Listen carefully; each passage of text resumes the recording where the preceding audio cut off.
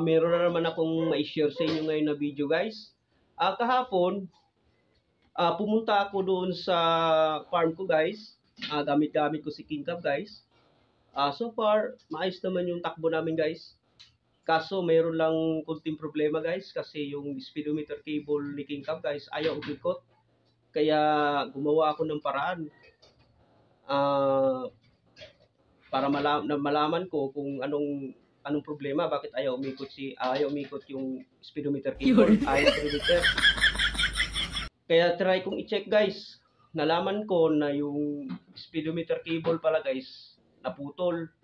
Kaya sinubukan kong maghanap ng motor parts guys. Magbabakasakali ako na ah ah merong parts ni King Cab dyan sa mga motor parts guys.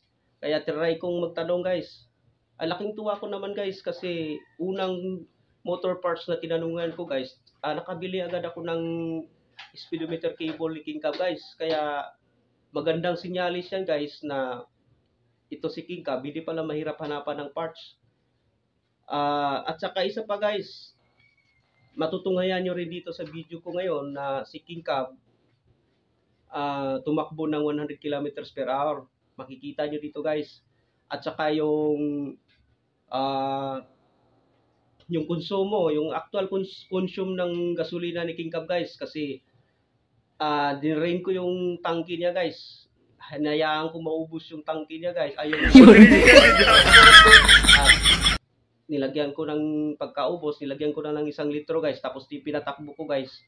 Dito matutunghayan natin guys kung ilang ilang kilometro ang kayang takbuhin sa isang litro guys. Kaya tutok lang guys. Wag diretso-diretso lang ang pag, pagpanood guys para malaman natin guys.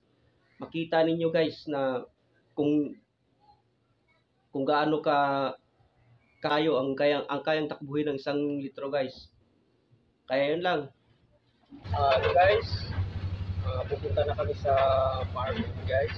Ah, ginawa ko ngayon guys, hindi ko na lang binawasan ng ng gasolina, yung ano, ito yung guys, tingnan nyo yung ano ng gauge ng gasolina niya. Ayan. Ah, antayin ko na lang yan, patakbuhin ko, antayin ko na lang na maubos yung gasolina. Pag maubos siya, saka ko na lang refillan ng ano, isang litrong gasolina. Tapos patakbuhin ko hanggang maubos para makuha natin yung saktong ah yung saktong konsumo ng gasolina kung ilang kilometro ang maubos sa isang isang litro. Kaya yan guys. Kaya nakita niyo yung gauge ng gasolina guys. Ito ito. Ito yon.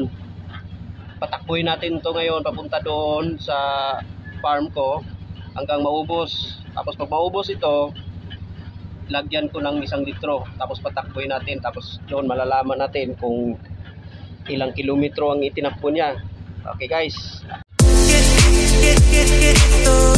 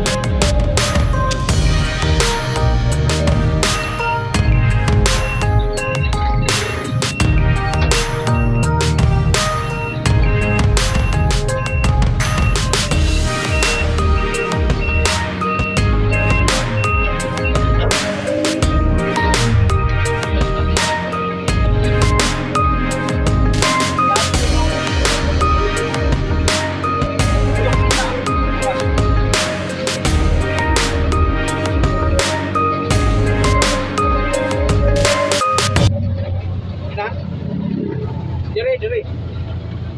Ayan guys, naputulan tayo ng ano guys. Speedometer cable siguro na nasira nito guys. Hindi na umiikot guys. Ayan guys. Kailangan pa nating ano, maghanap ng ah, motor parts guys para bibili tayo ng speedo, speedometer cable guys. Sana mayroong available na speedometer nito guys. Ah, try natin kung dito natin malalaman ngayon kung ah madali mo lang ba makahanap ng ng ano ng parts nitong King Cab commuter guys. Malalaman natin ngayon dahil magtatanong tayo kung mayroon tayong makitang ah, motor parts. Magtatanong tayo kung mayroon mas lang available na speedometer nitong King Cab guys. Kaya abangan nyo guys.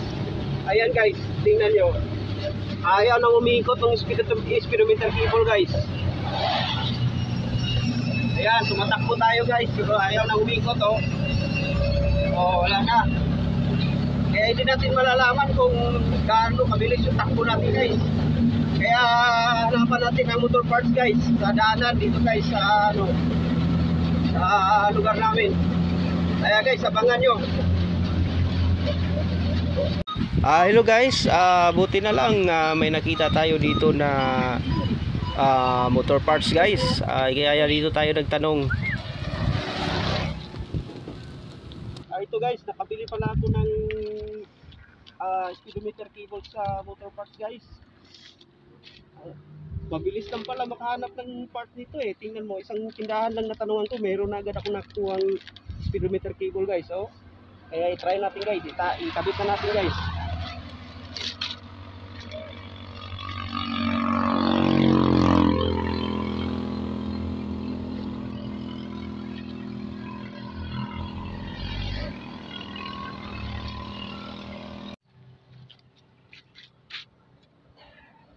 Bukas. Tapos na rin. Ito guys, oh. Ito yung screen niya guys. Ayan oh, naputol guys, oh. Putol, eh. Oh. Putol. Oh. Kaya pala ayaw na umikot yung kilometer guys. Naputol pala. Kaya ngayon eh, ayos na yun, guys. Sumabit ko na yung bago. Kaya subukan na natin ulit. Oh. Ayan guys. Punta na tayo guys. Tuloy na tayo sa ating paglalakbay guys. Ah guys, ah, masyado nang mahaba ang video natin ngayon guys. Ah, kailangan natin munang ah, putulin ito. Pero kung gusto niyo malaman yung ano guys, yung makita yung takbo ni King Cab na 100 ki- 100 kilometers per hour at saka yung yung konsumo ni King Cab na gasolina guys. Nasa part 2 guys. Inano ko na lang guys sinati ko yung video guys kasi masyadong ah, masyadong mahaba yung video ko guys. Kaya nandun sa part 2 kaya hanapin nyo na lang yung post ko guys. Nasa part 2 guys okay thank you. Meron lang akong kunting pakiusap sa inyo guys. Ah, kung sa palagay nyo nakatulong itong ah, itong video ko ngayon Ah, huwag nyo naman po sana kung pagkakaita ng like and share and subscribe para ah, may pagpatuloy ko itong pag-update ng King Cab para may share ko rin sa inyo kung ano pa ang mga pagbabago o mga kakayanan, kakayanan nitong King Cab